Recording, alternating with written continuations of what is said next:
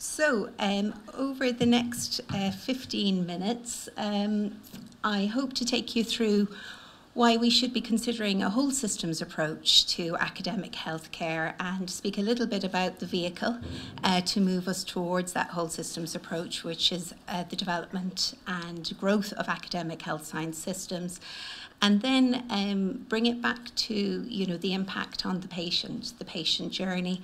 And I think the piece that I've been particularly asked to also concentrate on my personal research journey as illuminating things from the ground up. And then I suppose to move to the question of uh, the day, which is why now, and how will we move forward. So it comes as no surprise to us that the scale and complexity of the challenges facing modern healthcare require a whole systems approach to management. And when bridges are built between education, research, and clinical care, activities can be aligned so that patient care is based on population needs and priorities. Education is restructured to meet the evolving and changing needs of society, and research is linked to improved health outcomes. And Wartman calls this the virtuous cycle of academic healthcare because education, research, and clinical care work together and support each other to make each other better. So, in order to reap the rewards of the virtuous cycle of academic healthcare provision, a paradigm shift has to occur where we need to move from thinking as, edu as education and research and clinical care as being in separate silos and competing with each other to as a, a recognition of that mindset that uh, by working together synergistically, each will have a greater impact on patient care. As Professor Fall has said, clinical care is better when provided in a research active organisation. So this uh, slide represents a diagrammatic approach to the tripartite mission of, of uh, uh, Borden and colleagues. And you'll see there the four um, quadrants representing the major areas of impact innovation, health, community, and policy. And the Venn diagram shows that in the areas of intersection, the added benefits that can be achieved where uh, each of the components has opportunity to inform and illuminate each other. So in an academic health sciences system, an educator doesn't simply teach, but rather adopts a critical appraisal mindset where one's teaching is, is research informed. And as one teaches, one maintains that critical appraisal mindset and engages in a quality, conti- a continuous quality improvement methodology so that either by employing QI methods or more formal research engagement, one continuously improves one's educational practice and in turn produces students that have critical appraisal mindsets and that apply evidence-based care in their clinical care. So you see in each of those, those, those areas of the diagram, research informs education, education informs research, research informs clinical care, clinical care should drive the activities of research. So I spoke about the academic health science systems as being the vehicle to, to, to drive us towards this vision. And the Higgins report, which we will remember as um, being uh, fundamental in establishing the hospital groups, actually had the academic health science system as a core component of that report. So there was the appointment of the chief academic officers to the hospital groups. But as the chief academic officers describe in, in, in one of their explanatory documents, an academic health science system really should be seen as a fully coordinated partnership. So moving from ad hoc, you know, informal goodwill relationships to a really considered, organized, funded, well-governed partnership between a university and a healthcare system. And you see there a really important word. It's not between a university and a hospital, where traditionally the focus has been. It's between a, a, a healthcare system, which means reaching out and looking into the community including both primary care, the community partners, but also, of course, uh, palliative care, as a unique organisation that already is set up in that manner, uh, where we don't have those, those barriers or silos in, in practice. And the idea of the academic healthcare system is that it's designed, so it is designed, this is its purpose, it is a considered and structured way of going about delivering quality care hand in hand with teaching, training, research, and innovation, and very importantly, incorporating the full spectrum of the healthcare workforce. So, again, not just medicine, not medicine and nursing, nursing but the full spectrum of health and social care professionals, and importantly, managers and, and, and other members of, of uh, the healthcare organisation. And as we are increasingly recognising the importance of engaging public and private par- or public um, engagement within those as, as part of that partnership. So, in terms of the academic health system sciences, is it aligned to, is it a key component of Sláintecare? Absolutely. It enables the right care to be delivered at the right time by the right people in the right place. And it really does underpin that whole systems perspective, moving away from the traditional focus on hospitals only. And of course, the, the problems that we are all encountering on a day by day basis around staff recruitment, development, retention, working in an academic health science systems um, environment uh, does so much to, to, to address so many of those, those issues. And in the CAO report, they talk about a, um, a commissioned report uh, that was carried out in the UK, where they estimated that an investment of uh, the equivalent in, in, in euros of 324 million, which if you did pro rata population basis to Ireland would be about 28 million per annum. In the NHS Clinical Research Network supported clinical research activity generating 2.4 billion of gross value added and almost 40,000 extra jobs. So something that has a societal benefit. So moving perhaps from a little bit of the theoretical and the abstract to, to, to the patient. So what does academic, say, palliative care look like from a patient perspective? Well, consider John, um, a gentleman in his 50s who presents to the emergency department with chest pain and shortness of breath. Unfortunately, he's found to have a lung malignancy in an academic healthcare uh, system, he will have research informed practice. So he will be able to benefit from precision, precision medicine and all of the advances in on oncological therapy. It will be performed and delivered and um, you know cared for by highly trained professionals. Because we are benefiting from the landmark stu study of Temel and colleagues from an academic health sciences system, he'll have a palliative care approach incorporated throughout his disease his journey, and hopefully, with the advances of medicine, he will live well for some years. However, unfortunately, it is likely uh, that at some point his disease will progress, and there may come a time where he needs to access clinical trials, which again will hopefully generate both benefit for him and for further patients. And again, in a highly trained uh, workforce with good links and coordination and working as part of a system, his care will be provided in his preferred place of care, uh, uh, care as far as is possible, which would be the community, with excellent information flow between hospital and community settings. And if there should come a time where end of life care is, is moving towards the sole focus of care, care again can be provided by highly trained staff in community or hospice settings. So again, moving from the patient to perhaps my personal research journey, um, I suppose my first engagement was research was actually as an intern, where um, I was engaged in, uh, in the publication of a case study. And interestingly, that was in a dermatology rotation, and dermatology always would have been quite a research active specialty, uh, quite academic linkages. That did continue through SpR training. Um, I uh, carried out um, a validation study of the confusion assessment method, uh, the, the tool used by Inouye and colleagues in the US in the palliative care setting, the first time that the tool was validated in that setting.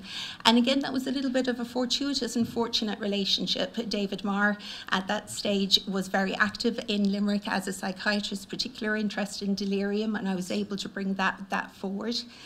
Um, my research then was solidified by post uh, training. I was successful in, in being awarded a HRB research fellowship. So that afforded me two years of, of time to concentrate on palliative care provision for people with intellectual disabilities. And I suppose my first kind of perhaps hiccup or reality in the experience of what it is like to work in an area where I suppose research infrastructure is underdeveloped and there's the pressures of clinical commitment. Sorry, could I have some? Thank you. Was that although I was successful in carrying out the, the research project over the two years, delivered five papers from the project, actually I got a consultant post, um, you know, pretty much immediately there. And I was like, I will write up my MD. Thank you very much.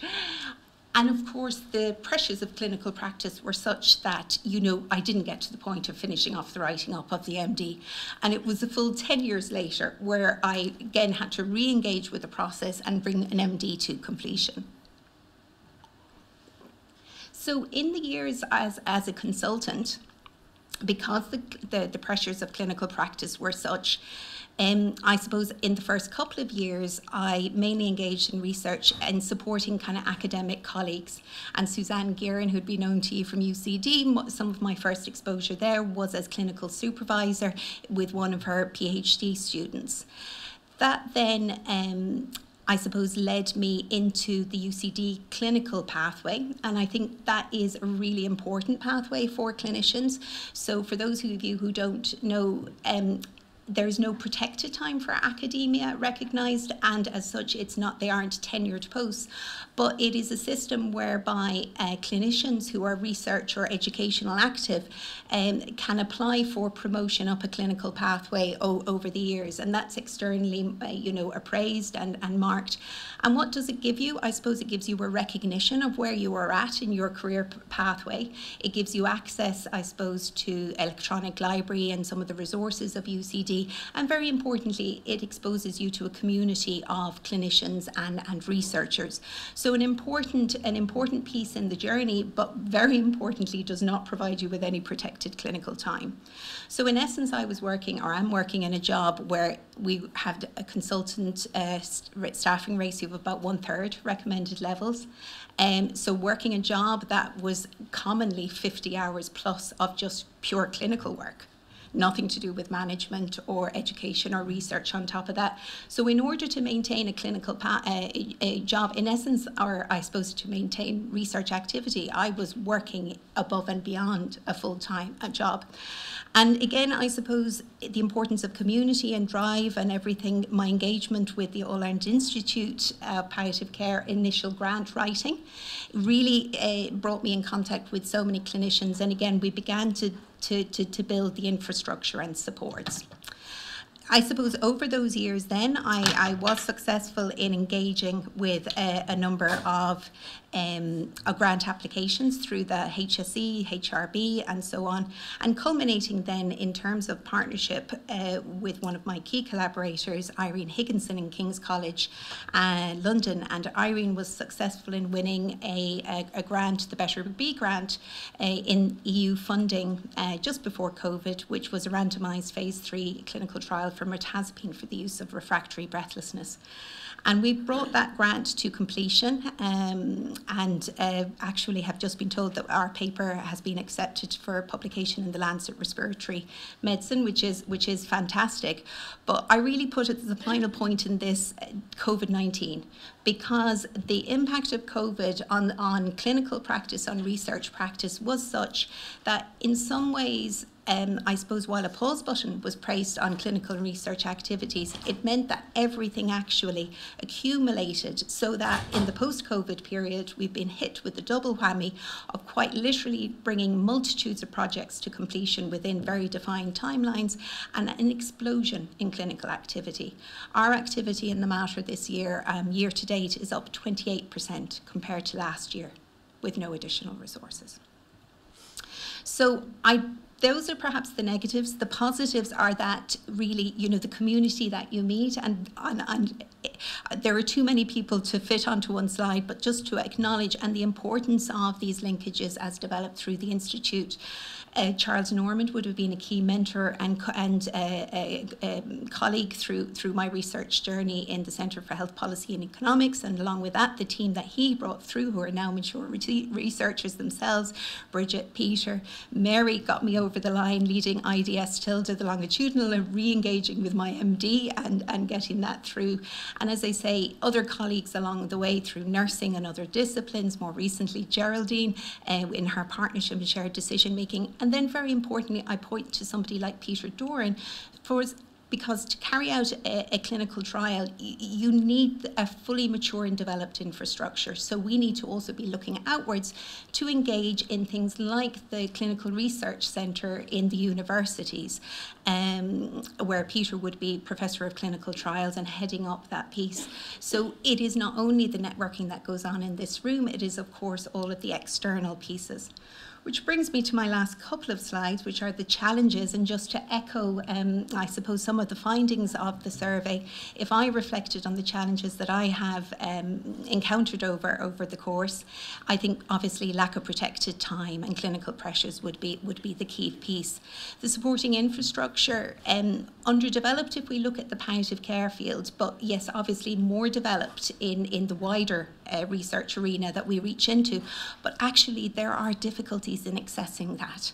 And it can be as simple as being in a different site, but sometimes you would swear that I was not a member, you know, of a clinical pathway within University College Dublin.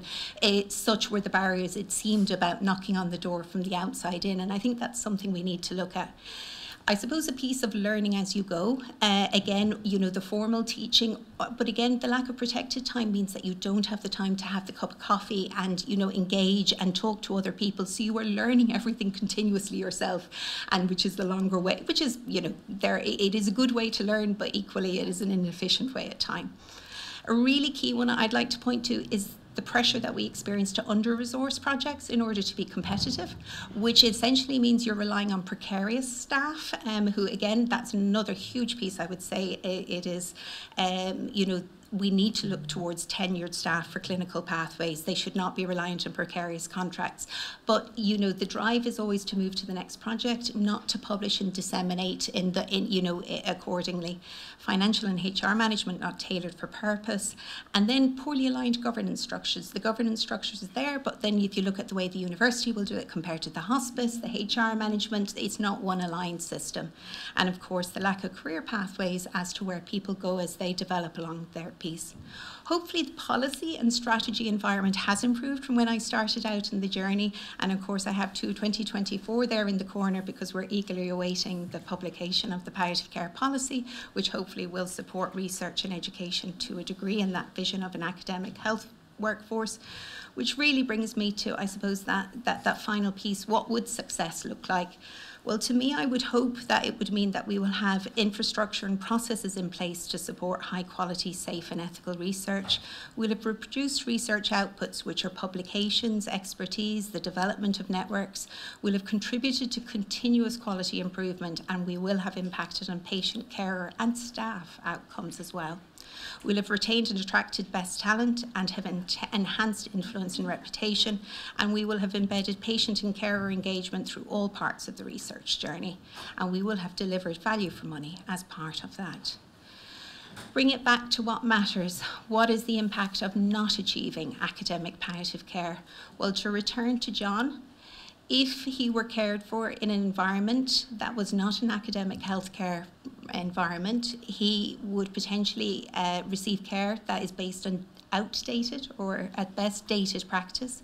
He would encounter healthcare professionals with varying levels of competence, and care would be provided according to service availability as opposed to the best standards of care. He potentially wouldn't have access to clinical trials, he wouldn't have access to the best standards of care, and wouldn't would receive care in an overly hospital centric model, which would mean that he would not necessarily achieve goals of spending as much time at home as possible. So, our concluding thoughts Ireland is a world leader in palliative care service provision. We are rightly proud of that. But I caution, we will not be a world leader in palliative care if we remain in a research and innovation poor environment. It is simply something that doesn't fit. So I think we have a strong foundation on which to build, and now is perhaps our unique opportunity to lead and advance patient care, staff training, and knowledge through the de development of academic palliative care. Thank you.